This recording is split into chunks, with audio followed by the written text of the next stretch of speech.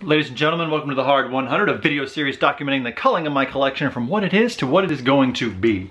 We have made a bunch of videos, and we have also had some death matches, and we've had some just games that I've loved, games that I've hated, but very rarely do I have a situation where I have two games that I genuinely like.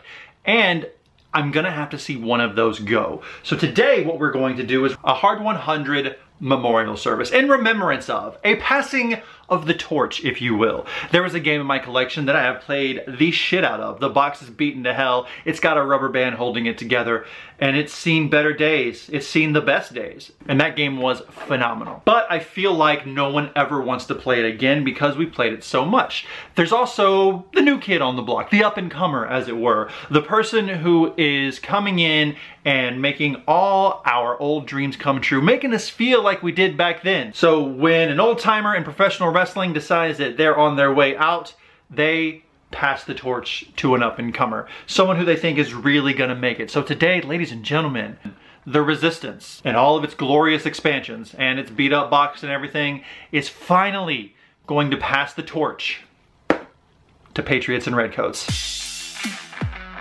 The Resistance by Don Eskridge is a social deduction game to end all social deduction games.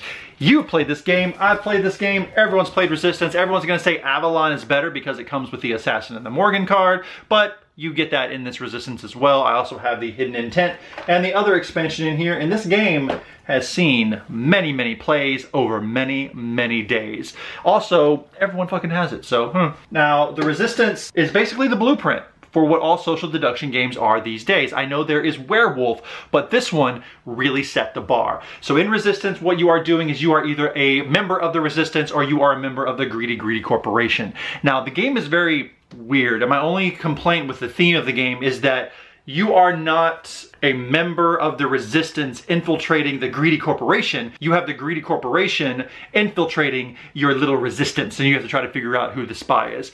Bottom line is, some of you are good guys, some of you are bad guys, you have to figure out who, but the fun thing is, all of the bad guys know who all of the other bad guys are. And if you are playing with the Merlin variant, the Merlin character knows who all of the bad guys are as well. So they're trying to steer the conversation in a certain way without making it seem like they know, because if they do know, then the assassin at the end of the game can pick the Merlin and the assassins win regardless. And what you're essentially doing is on your turn, you're going to select a couple of people to go on a mission, and on that mission, they are going to either, everyone's gonna agree to send them or not, or disagree to send them, and then they're gonna be given a pass and a fail card. Everyone takes one card, gives it to the, I guess, dealer, and then they shuffle them up and reveal. And if it's all passed, they pass the mission, congratulations. But if they failed, then everyone starts throwing out accusations. You did it, no, you did it, no, you did it. Oh, you did it, didn't you? And then that's counts as a failed mission, and whoever has the first to four missions or a certain number of missions wins. It is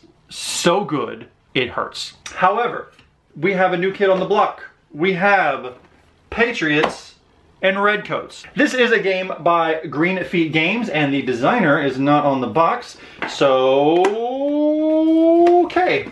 This game has you doing a very similar thing. You are either a member of the Patriots or the Redcoats in the American Revolution. Now the theme might not be a scientifically dystopian woo, but it's still a theme that everyone can understand. If you're a member of the Patriots or the Redcoats, it doesn't matter. You're just trying to be the first to four victories for your side.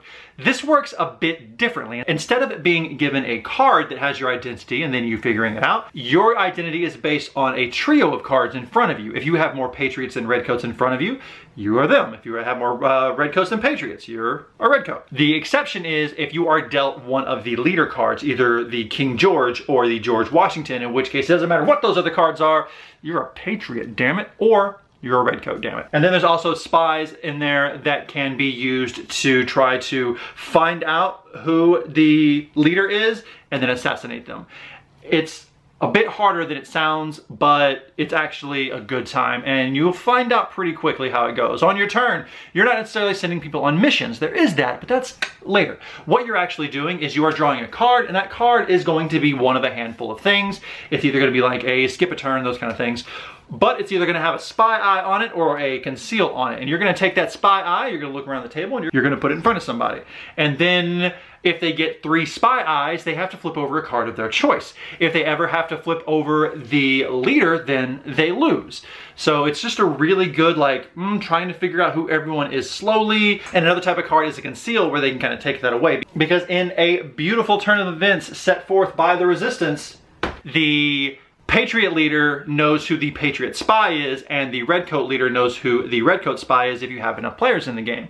So there is some information that is already out there that is known. And then at the uh, once everyone has done a card and it gets back to the main person, to the first player, then he calls a war council. This is very similar to what the resistance does where he sends people on missions. He votes someone to be the leader of the war council and everyone thumbs up and thumbs down. And if it thumbs down, a little tracker moves forward and if he gets to the end, you gotta draw one random. And uh, if not, then he takes three tiles, looks at them. These tiles are gonna either say Redcoat victory or Patriot victory. He's gonna discard one of them without anyone seeing and hand the other two face down to the other person.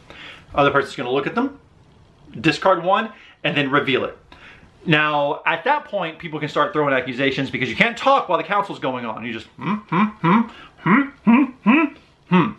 And then you go. Oh, he handed me two red coats. I had no choice but to do a red coat. Actually, no, I didn't do that. You're lying. I'm gonna, I'm, I'm gonna get you. And it's the whole, that whole kind of thing. And this really focuses the screaming uh, between two people as opposed to a whole bunch of team that went on depending on all kinds of. So this is probably the wrong way to do this. So let's, because on the shoulders of giants, Patriots and Redcoats will stand. Resistance, as I mentioned, has run its course. It's been played so many times. I will be sad to see it go, but its legacy is not lost on gaming in general. Patriots and Redcoats, damn, is a game that is a has some fresh ideas to it and it takes some of the things that the Resistance did and improves on them while leaving back some of the fluff and funk. Let's do some quick housekeeping. First up, the Resistance. Resistance ages 13 and up. Okay, don't know why. 5 to 10 players. Now here is another problem that we've had with the Resistance. The sweet spot for this game is five, six, or seven players. That is when I've had the most fun playing. Once you get up to a eight, nine, or 10 player count, even with all the expansions and extra rules, because there are extra rules out the ass, you can add so much variety to this game.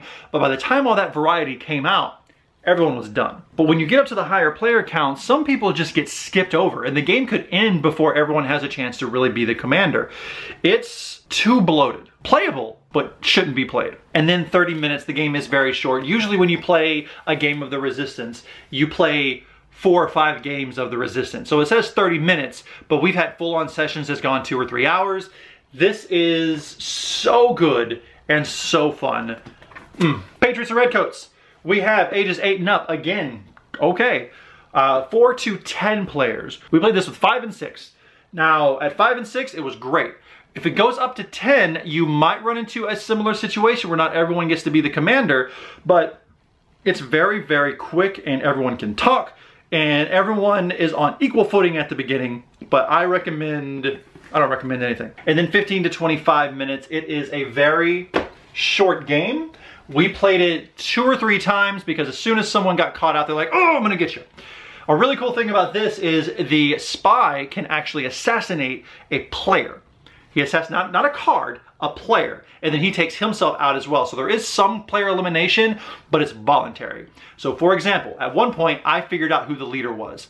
And I was like, hmm, I'm gonna play a card to reveal that last card and you'll have to reveal it and then we will win. And as soon as I was going to reach for them, he flipped his card and said he killed me. And he also killed himself. And I was like, oh no!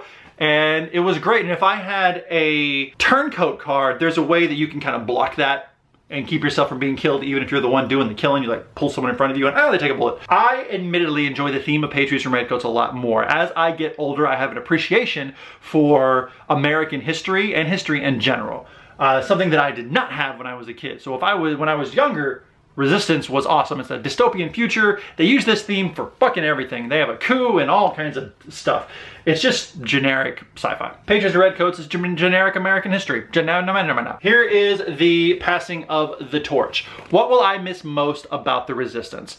Probably all of the yelling that this game immediately creates. So the atmosphere at the table where everyone knows that someone is there's a fucking spy around here. Which one of you bitches is the spy? There's at least two of them. Who is it? And in this one, there is always going to be a minimum of one spy or a maximum of everyone but one spy. So it's kind of like, we're not sure exactly how many spies are in this one, but in this one we always know there's an exact amount, and that is a very nice touch. This gets the table yelling to happen immediately, and this one, the table yelling takes a little bit to get started, but once it starts, it's a good time. So I will miss the Resistance greatly. The Resistance, a beautiful, beautiful game. It's right for your shelf. If you have never played The Resistance, get off your ass and go buy a copy of The Resistance, because this Resistance, unfortunately, is out of my hard 100. It will be missed. It is a beautiful game. It has gotten played so much, but it's time to pass the torch to Patriots and Redcoats, which is in the hard 100. This is the new standard at which I will grade all social deduction games. Now, we've talked about a lot of social deduction, and we will talk about a lot of social deduction games, but those aren't really trying to emulate what the Resistance does. Those games are essentially either Werewolf or some kind of super easy basic version of it, or they try to do something new and they go really far in that direction. But the Resistance and Patriots and Redcoats are really trying to accomplish the same thing. So Resistance, you've lived a long life, go and enjoy your retirement. Because Patriots and Redcoats is carrying that torch until the next great thing comes along, and right now that great thing is Patriots and Redcoats. Bum, bum, ba-dum, bum, ba-dum, ba-dum. Peace out.